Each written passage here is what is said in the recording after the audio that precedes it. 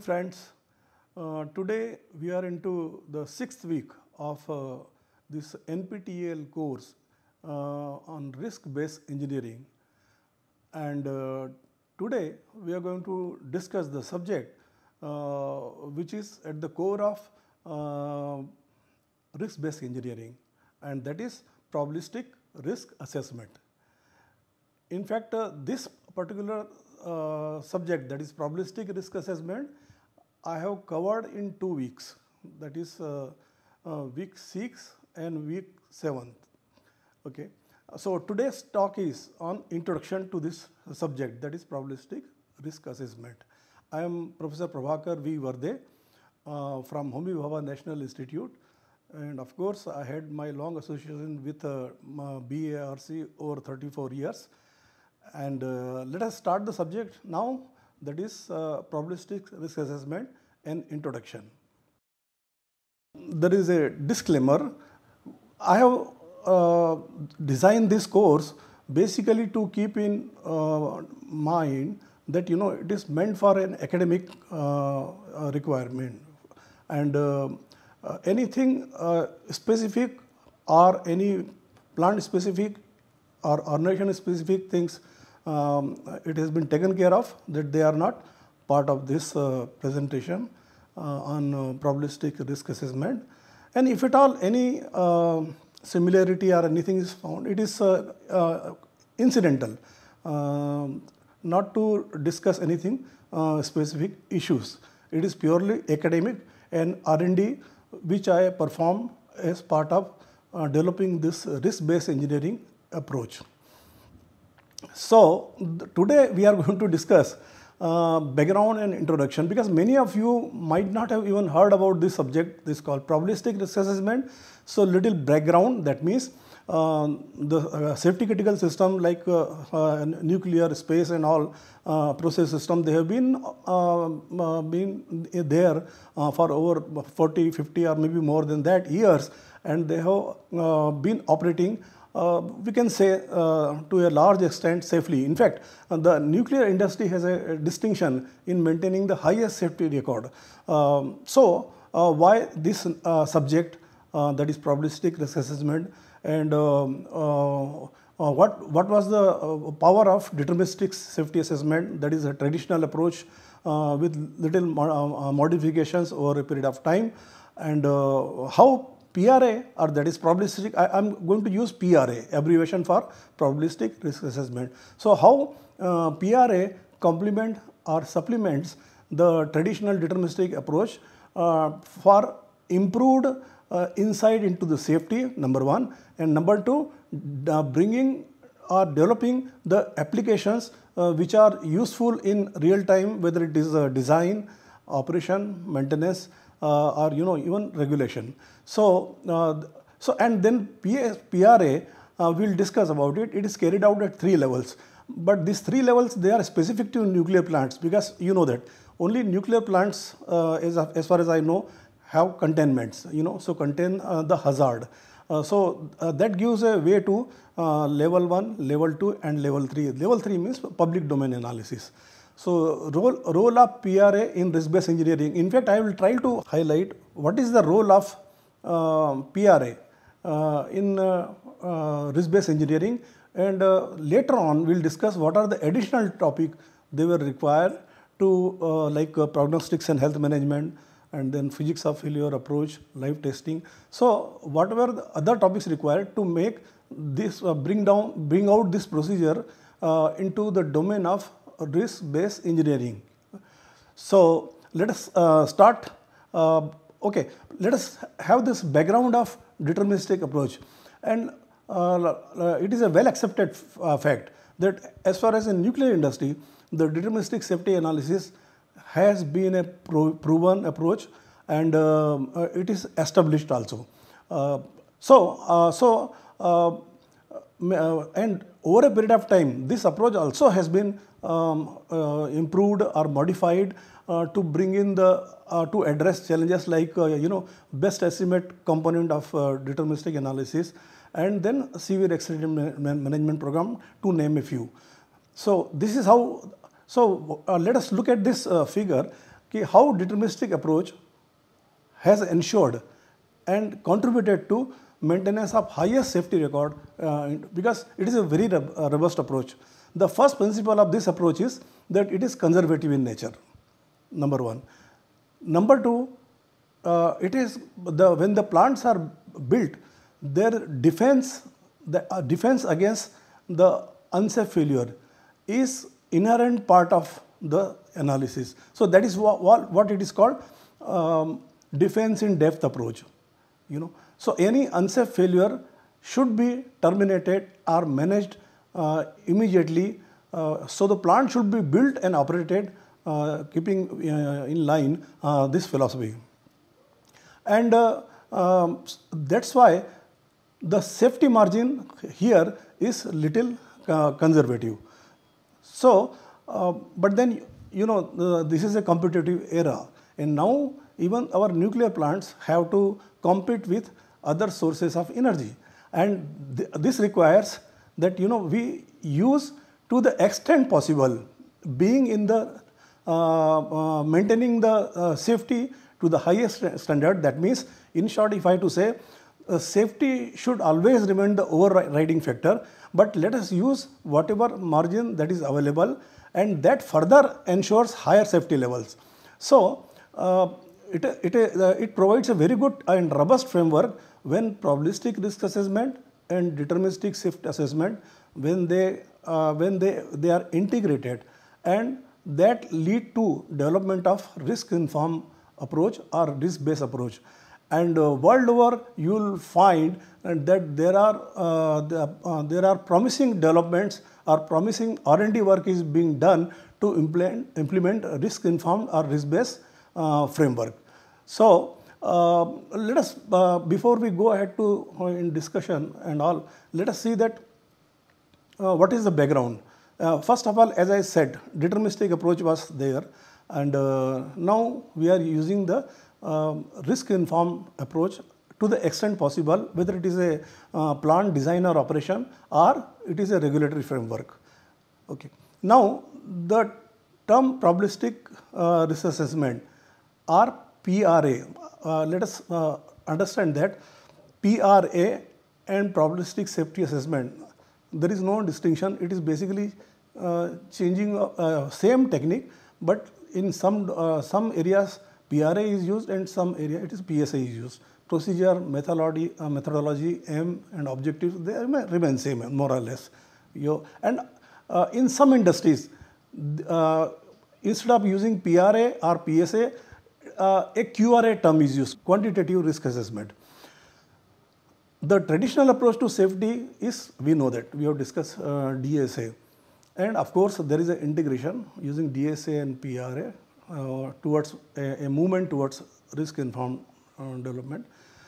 And uh, the, the, the specific advantage uh, that we are see through this integration is that many criteria which were subjective earlier, uh, now uh, the, uh, the, because of this uh, contribution uh, quantification element coming from PRA, uh, now they, they are finding that you know the whole safety analysis or risk analysis has been become a systematic in the realm of risk informed and risk based approach. Um, and it is presentable because it is a elegant framework that can uh, interconnect component, interconnect system to the plant level and then any component, any co configuration change, uh, how the plant is affected that can be seen. So presentation and documentation itself bring in the rational element of the, uh, of the analysis and, uh, and, and uh, if any changes over a period of time, then it is called uh, living document. So that also can be seen and the factors which are uh, responsible for change, those things also can be uh, seen. This is a, I would say, beauty of this uh, integration. And uh, then uh, apart from this, the special advantages are uh, integration of human element. we know that human element is one of the major contributor to the events and accidents. So here we are able to uh, Uh, integrate the human element and see how it impacts the system. I would say this is the biggest advantage because we, would, uh, we will know where to put our resources in terms of training and analysis or in fact in going depth, uh, depth of uh, you know plant, uh, plant requirements in terms of simulator, um, uh, making uh, even it might come to the role of AI, artificial intelligence in training and of course in operation also. So that the critical issues can be handled of course uh, there is always a uh, writer that AI should be used very carefully and given the fact that nuclear industry is very conservative. So, that probably will come over a period of time. And then there are some sort of uh, special issue in safety, common cause failure because our safety uh, framework is based on redundancy, diversity, um, and you know fail-safe criteria and all that. But this common cause failure is an element that need to be given priority. And uh, if we have to say this remains mostly uh, at the qualitative level, level or rather, rather I would say uh, deterministic approach has done a great job in this because there is a framework to design uh, uh, defenses against common cause failure and that particular activity is responsible or those features are responsible for um, uh, lowering down the possibility of deviation or incidents. And of course, uh, PRA being a quantitative approach, we have a elegant approach for uncertainty, uh, and uh, sensitivity analysis. And of course, uh, documentation uh, and all this, they make a PRA as a subject very powerful because it is it brings in an element of integration um, uh, a notion of uh, uh, safety, um, when it is translated into risk, it becomes quantitative. And the beauty is again this quantification can be converted into languages, um, uh, linguistic variables or we can say fuzzy variables uh, to express uh, what we are trying to talk about the plant, how we are trying to compare different plants and how what are the areas we would like to count on for modification and further work. Uh, this particular topic has been covered in uh, two weeks. That is week 7 the current week and the week 7. In week uh, 6, week 6 will, will cover only the PRA level 1 and there also a limited scope. Because it is a very very uh, uh, uh, exhaustive to deal with complete level 1 PRA but at the same time we, are, we want to understand the major features of PRA, how PRA to be performed. So, for that limited scope PSA, uh, PRA uh, should be good enough uh, for academic uh, reasons. So, with this if you go to uh, fundamentals, you would have seen some one, one slide similar to this one. Uh, here the difference is what, what, what are the basic elements and how PRA becomes the, these elements become the ground for PRA. So, let us see on the left side, we have the uh, a symbolic nuclear power plant. From there, the data and information is gathered. And then as a first step, uh, we uh, analyze what can go wrong. Now, now, what can go wrong can be only said when we have what, uh, how frequently an undesired event happens. So, how frequently it can happen. So, that is one thing and with each event what are the uh, consequences. Okay. So, these two together we know uh, the model of risk uh, which I will discuss in the next slide. Um, so, if we are given the likelihood and the consequences likelihood here how frequently it can happen and the consequences here we can estimate the uh, risk or we, give, uh, we can give statement of uh, risk um, and while doing this we discover lot of plant strength, additional margins and uh, we discover few weaknesses also. So, then based on the uh, based on the insight from the analysis and further uh, analysis uh, uh, we can take decision a decision can be made um, what kind of uh, safety improvement program can be implemented in the plant. Now, uh, we have discussed earlier, uh, risk is nothing but likelihood into consequences. And this is the power of uh, probabilistic risk assessment because a mathematical element uh, creeps in in the analysis. And when a mathematical element keeps in the analysis, it supports rational, it supports identifying the issues, comparing the issues, prioritizing the issues, and then um, uh, finally making management decisions uh, what should be the next stage for uh, any addressing any weak area or area which requires special attention.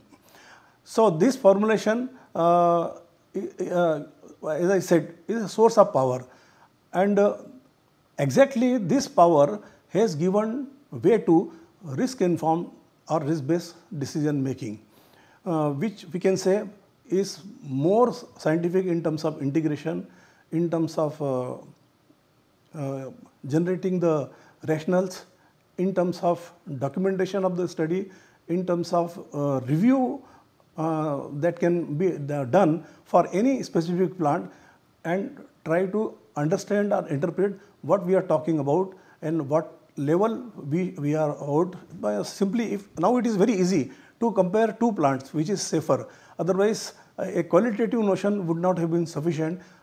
One plant is saying my plant is also safer. Other plant is saying my plant is also safer. Let us use PRA method and try to assess start from component level go to system level go to plant level take the data from both the plants and then uh, tell okay uh, what is your result? What are my results?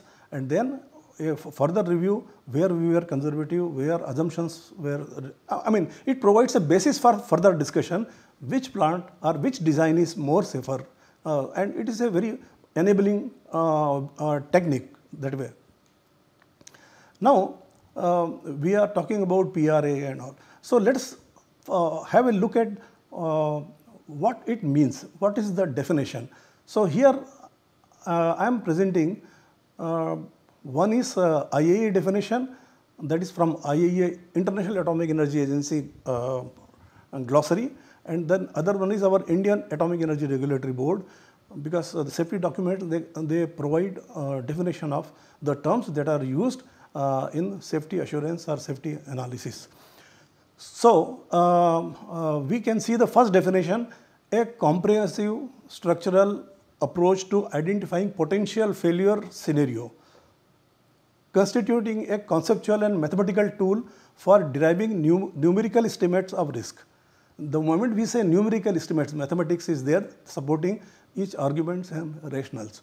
So, uh, this is the definition which is the, uh, has been developed by IAEA and uh, our AERB. Uh, also document also shows this definition. Now, uh, NRC's definition is more of extension of what we saw in the uh, previous slide is basically it's talking what can go wrong and how likely it to happen and to get a mathematics of the risk. So, what, how it reads like the NRC definition uh, uses probabilistic risk assessment to estimate risk by computing real number of number to determine what can go wrong and how likely it happens and what are its consequences. Thus, PRA provides an insight into strength and weakness of design and operation of nuclear power plant. Now, uh, when we are developing a risk-based engineering approach, uh, wherein the objective is to develop application provide a robust, relatively robust framework, at the same time rationals and then go for application development. Because uh, to some extent PRA has really paved the way for uh, development of real-time applications uh, because the qualitative criteria got converted whether it is likelihood or uh, any issue or you know fail safe. So it has come from common cause failure, it has come from the domain of uh, uh, qualitative to quantitative. So now how we define our definition of risk-based engineering from the existing definitions or having a new element so that we are focused and we develop this subject. So here uh, a comprehensive systematic and structured analytical approach to postulate the potential accident scenarios. They are not really reality as on today, but there is a postulation by considering numerical data on likelihood and consequences for arriving at quantitative estimate of risk for complex engineering system. So risk-based engineering, even though the uh, reference has been taken from nuclear plant because nu uh, nuclear plant only can give the ideals of safety, how it is maintained, how it is operated. So this becomes the ideal reference. Uh, so that's why nuclear, but then mm, with little adoption or modification, uh, these approaches can be used to any safety critical system, whether it is a, a space, they have been already using aviation, transport, um, uh, and railways. So they, they can be easily adopted. Then, then this risk-based engineering, this provides insight on strength and weakness of system and that in turn creates an improved framework for identification, prioritization, evaluation and implementation of risk-informed risk-based framework for safety improvement and further complying the national and international regulatory stipulation. Because uh, if the national and international regulatory stipulations or guides or criteria are available, then it is very easy to compare two different uh, two different plants, two different system, two different components because we are keeping uh, this assessment in the light of national and international criteria. Now, uh, as I was mentioning initially, the probabilistic risk assessment in nuclear industry, I'll emphasize here, is carried out at three levels. The, this involves assessment of plant safety um, systems to any initiating event. So that means initiating event becomes the starting point for any deviation or any um, accidents uh, accident. So if deviations are not controlled and uh, so they they might lead to accidents. This is how we can uh, see here. So the objective here is assessment of core damage frequency because uh, we are remaining in the realm of level 1 PSA. Uh, so let us see what is level 1, level 2, level 3. So uh, level 1 study deals with the system analysis. That means uh, in reactor has been built, what are the system, what are the process system, what are the safety system and how if a process system fails, how the safety system respond to these failures and bring back the plant into uh, normal uh, to the normal operation uh, scenario. So, uh, uh, initiating events are very important and that is why uh, in PRA or DSA, a list of initiating event, it is, uh, it is a stipulation that it should be as complete as possible. Okay. And now there are safety system are designed keeping in view each plant's safety framework or safety requirements.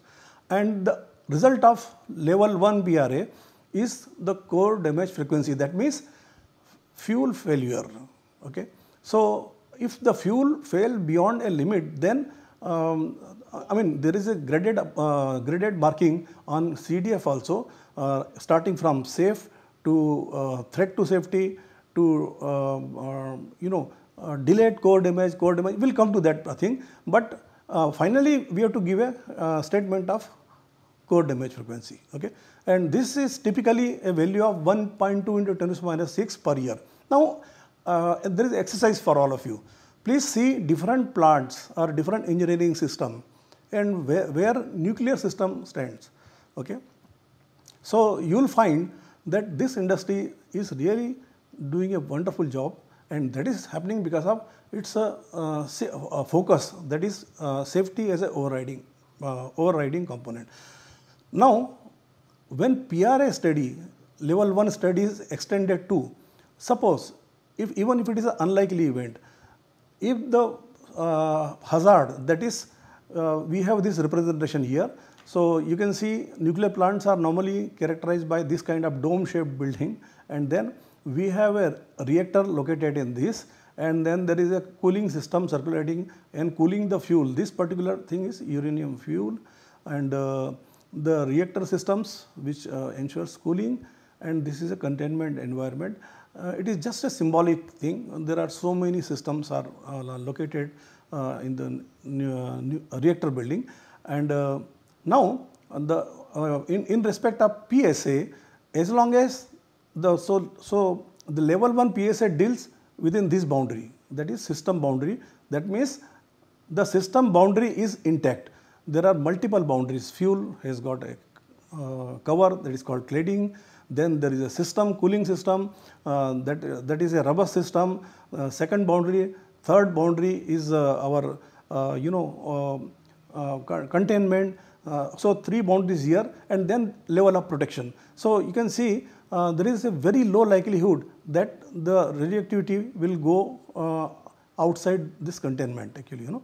So level 2 PRA is the containment analysis. If the activity has come out in the containment, then what are the different scenario and what will be the uh, release uh, scene uh, potential uh, which has got potential uh, for for the hazard to go into the public domain. So this is level 3 PRA, we got, get to level. So potential release in public domain uh, has been and the input is level 2 and some additional analysis which are carried out taking into account weather conditions and you know plume formation that means and all that.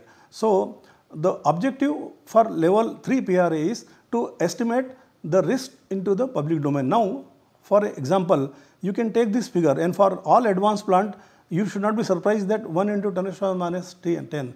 So, you can see each uh, level 1 PRA 10 to the minus 6, uh, 10 to the minus 7 and then 10 to the minus How engineering features help reducing and uh, safeguarding public domains you know. And then even if it goes into the public domain there is a you, you can see here exclusion zone. That means public is kept out of this uh, so uh, this is yeah you uh, if you know it is almost like 1.5 kilometer or above you know so uh, so all the all the focus has gone that the nuclear plant provides electricity but public is should be kept uh, uh, you know, should not be exposed to any hazard, however unlikely it is, you know. So now let us go to uh, a more clarity we'll get from this slide what level 1 PR, PRA, level 2 PRA, level 3 PRA does actually. Um, so here uh, you take the plant data, design manuals, uh, safety analysis reports uh, which is indicated on the left side and then you build your level 1, level 2, level 3 um, so first is level 1 PRA which uh, estimates the core, uh, core damage frequency CDF stands for core damage frequency. You saw the statement in the previous slide uh, right into the plant and then uh, safety design and operation and risk based application or risk informed application whatever. So this it said uh, this it's level 1 PRA itself uh, the traditionally the approach has been to perform first limited scope level 1 PRA because uh, in terms of gain, uh, 80 to 90 percent uh, insights on safety you get from level 1 PRA itself. And then as a second stage, as part of level 1 PRA, external events are also analyzed like flood, fire, shutdown condition. Uh, uh, full power is a part of level 1 PRA, uh, low power operation. So, that is how we build the PRA model. In level 2 PRA, the release frequency is the uh, output and insight into potential contain containment source term. There is a technical term used, what source term. Source term means what is the effect of containment to grab the activity inside the containment and what will be the final source term um, which gets um, leaked out from the containment um, and then level 3 PRSA. Uh, very low likelihood that is 10 to the power minus 8 but uh, still a systematic analysis is done that you know uh, risk to the member of public and every effort is made to ensure that the um, the hazard doesn't reach the public domain. Again, I will re request you, you see the contribution of uh, the safety level that are being maintained and uh, in various domains, uh, including process industry or uh, energy systems, that is coal fired plant or any other plant and then you will see um, that uh, risk is um, minimal you know even uh, our um, aviation space uh, aviation travel you see you can uh, see in the public domain what, whatever knowledge base is available and compare that with the um, uh, nuclear system now almost like uh, um, so many years of accumulated experience and only three events have happened that is uh, major events I would say. the TMI, then Chernobyl, and then Fukushima. And then so many years accumulated experience and all that. And if you even if you estimate the um, um risk from these plants, it will come very less than 10 to power around 10 to power minus 5 or less than that or you know. So that one can compute easily. It doesn't require much of mathematics you know. So uh, let us uh, proceed and see uh, full scope I, I was uh, discussing full, scope and limited scope so uh, in this uh, presentation our focus will be limited scope PRA that is internal event that is I am talking about lecture uh, that is sixth week. Uh, internal events, uh, reactor core is the source of hazard and full full power operation, limited scope PRA. And this will capture the crux of the PRA in a big way. And then um, next is when, when you talk of full scope PRA, uh, internal flood and fire, reactor pool is a source of radiation along with the reactor core and uh, external flood, uh, fire and seismic impact of external object. The subject has got expanded uh, from shift uh, safety to um, even security also. So, if the time permits or if I can add a module, uh, we will certainly discuss uh, discuss the security in short security aspect of uh, systems and or especially safety critical systems. So, um, now I have been talking about core damage frequency and all, what it means actually. So when you, one does analysis, the in analysis the example definition of uh, core damage uh, can start from a very conservative definition. If these events are is not terminating into the uh, uh safe state, then conservatively, conservatively it is decided this is basically a primary or preliminary part of uh, level 1 PRA um, because uh, often the inputs are required to categorize the events. So, on to be on conservative side, any accident sequence not terminating into the safe state by default it is considered as core damage. And later on uh, that binning can be done and all, but this is the first definition. Because all accident sequence may not pose potential for uh, safety or to the fuel. Then likelihood of deviation indicating indicative of threat to safety function. Nothing has happened to the fuel or uh, uh, potential hazard, uh, but then uh, it is a threat. Because safety functions or safety systems are our guardians. And if, if there is any potential to their health, then it is called threat to safety functions. So, this is a concern and our uh, safety philosophy takes into account how to handle this thing by emergency operating procedures or by uh, you know that uh, building the redundancy, diversity in design and all. So, you can assume that single failure will not lead to any accident or if we talk about redundancy, any, uh, the level of redundancy are kept such that one or two failure may not impact the safety of the plant. Then third is uh, likelihood of predetermined fraction of percentage of fuel damage. And always in deterministic analysis, it is a conservative estimate. What percentage of fuel has potential to uh, be released from the fuel domain, uh, not going out of the reactor. So that definition also form uh, core damage because we are in the in level 1 PRA, we are in the realm of system analysis. So we are analyzing the system. So we are not going out of the system. So we are not going even uh, in the containment also, we are remaining in the uh, system boundary. And then likelihood of event leading to fuel failure, leading to plant damage states input for level 1 2 uh, because this is required um, that okay uh, whatever given in the deterministic report that boundary has been crossed. So, this uh, becomes an input it is called plant damage states and this plant damage state like initiating event for level 1 plant damage state um, for level 2 uh, they, are, they are, they are, they are uh, uh, part of considerations for analyzing the containment scenario. Now, let us look at the our core damage definition uh, uh, from PHWR uh, AERB. So it says that extensive physical damage due to overheating of reactor core or its component leading to loss of core structural integrity.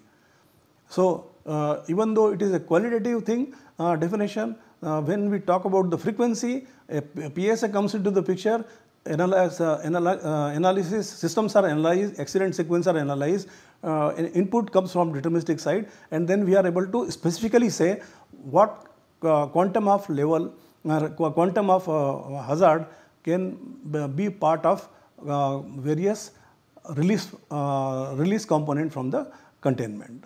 So, um, when it goes into the level 2. Okay. Then core damage frequency US USNRC definition, an expression of the likelihood that given the way a reactor is designed and operated, an accident could cause the fuel in the reactor to damage. So, as I was referring, this is basically in, in line with uh, our initial uh, idealization that uh, what can go wrong, how frequently it can happen. So, uh, this is what and the source of definitions also I have given over here. Now, major attributes of PRA uh, that makes because finally we have to understand how uh, PRA can contribute to the subject that is risk based engineering. So, one powerful powerful insight uh, is on quantification. Now, whatever uh, uh, whatever scenarios they were remaining in the qualitative realm, like in the safety analysis, if we say this this uh, possibility of this scenario because there are two systems uh, back to back uh, is unlikely. It is a qualitative explanation. But when, when I give, it is less than 10 to the power minus 4. Uh, um, there is a, uh, if it is discussed uh, in a forum where everybody understand the meaning of 10 to minus 4 or even if in public domain, if these data are compared, so uh, it becomes easier to communicate um, what is the risk potential from a plant which is being built next door or you know uh, in your area. So, it is sort of you know rational that we can generate uh, based on the quantification. Then second thing is integration. Uh, it is a very very um, effective framework for putting the plant into one model. That is the PRA level 1 model wherein almost every component which has potential for uh, safety or risk becomes part of it. And how failure of that component, individual component affects the final result of the analysis and how uh, from component to system, subsystem, subsystem to system and finally to the plant, the integration taken place and the sensitivity, sensitivity of uh, this which is part of uh, PRA uh, again um, will tell you how important, what is safety significance of that component. So, that is available because the whole plant is integrated uh, and it is binding all components uh, into by through uh, rational uh, logical framework and then giving statement of um, at, at, system level unavailability which is nothing but a, it is one of the way of indicating the reliability of the system, safety system and finally uh, at the plant level what is the frequency. Okay. And then uh, uncertainty quantification was there uh, earlier also, but with the data model and you know uh, specific uh, attributes, uh, uncertainty characterization is one of the biggest advantage. Like suppose if I give a point estimate that probability of failure of this component is 1 into 10 to the minus 3, probably I am giving half information for future use because if I do it after, uh, if I use this data after 5 years, 4 years, because of uncertainty which will creep in over a period of time or uh, data changing or even ecosystem changing, the same figure 10 to minus th uh, 3 will not be available. I will get slightly uh, less or slightly more. Both the possibilities are there and this uh, uncertainty bound, it captures that information by giving upper bound and lower bound around this point estimate. So, we are logically or even uh, rational wise we are more correct. I am giving this uh, estimate with uh, this bound. So, this is this is uh, uh, per se it will remain always. Of course, we will go on fine tuning this uncertainty bound uh, over a period of time, but at any point it gives it remains valid actually. and as I was telling you it is rational base because it is a representation PRA model representation is rational base. how system is built of uh, uh, subsystem and how systems make the plant and then how components uh, which are part of a system they are reflected in the they are rational based connections in there and again the second biggest advantage is the human performance can be integrated with the PRA model. So, our PRA model is sensitive to even human factor data. Of course, uh, there is a research, this is again a research topic, the uncertainty associated with human factor is relatively more uh, as is the case with common cause failure. Because of uh, common cause failure, it is a very rare failure. So, data is the, uh, for any uh, data to be uh, good data, um, we need more uh, more than one or two or you know degree of freedoms uh, for estimations. So, human factor and if I have to talk about the real time record, the kind of ecosystem which is there around the nuclear system, training, um, almost a 3 to 4 year a qualified engineer is trained and then authorization is done. So, from here itself a engineer takes uh, in graduation it takes it takes 4 year, but again before he is inducted and authorized uh, for duties um, he gets 3 plus year of uh, training and authorization when he takes charge of the plant. So, this is the kind of um, uh, kind of uh, kind of uh, sincerity or you know um, uh, framework exists that that takes care of the uh, human factor uh, into the nuclear plants and then applications. PRA has enabled because it is mathematical in nature it provides a development of application how frequently maintenance to be done how frequency frequently um, in service inspe inspection program uh, emergency operating procedure, how effective they are, uh, what is success during emergency scenario when, uh, uh when, when the uh, systems are affected to less level, but human factor is uh, something that has to be investigated. So, um, those kind of things can be done very easily. So, now I think you can see in open literature um, applications of risk informed risk based applications risk-based ISI is one of the most, um, even operator support system can be uh, developed uh, using the PRA information. Because the, the bottom line is safety. And what we want to give it to the operator uh, in emergency condition how safety is to be ensured. So, if a operator advisory system is available he has a backup advisor. Of course a decision he will take. But then uh, their human factor can be improved because the accident scenario doesn't affect the human, uh, does affect the human in terms of its uh, cognitive capability, but it doesn't affect the computer system. So, we have a good uh, friend with, uh, with the operator uh, who can support his decision or who can advise on the decision. Finally, decision making is operator's uh, consideration and then review. Since the, it is a documented very well, connectivity is there right from data to final estimate, effective review can be performed, you know. So, this is where we get benefited and there can be a very good communication between peer review regulators and the PRA team, um, you know like if anything is lacking or so point out point by point where it can be discussed. As I said the whole thing makes the elegant framework. So, this is what uh, is power of PRA and that uh, translates into its use into risk based engineering. Okay. Now, in this lecture we have discussed um, PRA background and introduction uh, in terms of what was the deterministic background and how PRA complement or uh, supplement the, the deterministic approach.